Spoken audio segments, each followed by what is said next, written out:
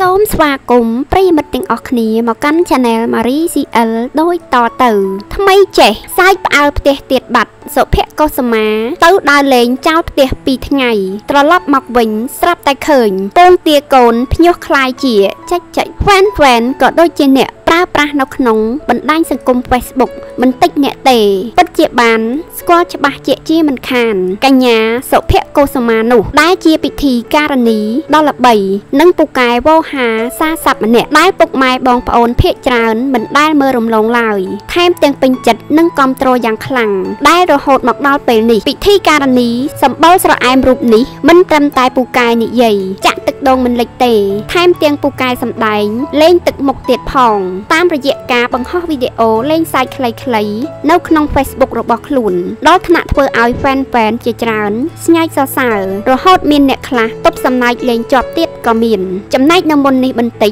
នាថ្ងៃទី15ខែសីហា ឆ្នាំ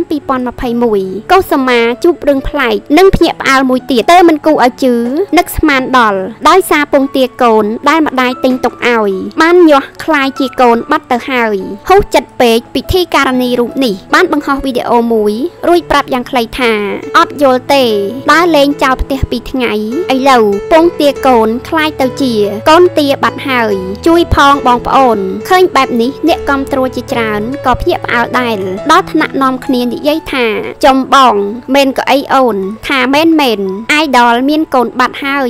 ណាប្តីចិញ្ចឹមវាទៅបងម៉ាមីទាអូចំណេញតើបង ចាំខ្ញុំជួយស្ម័គ្រចិត្តចិញ្ចឹមអញ្ចឹងដេកអោបម៉ងទៅចាចែមើលប៉ុន្មានដងក៏នៅតែសើច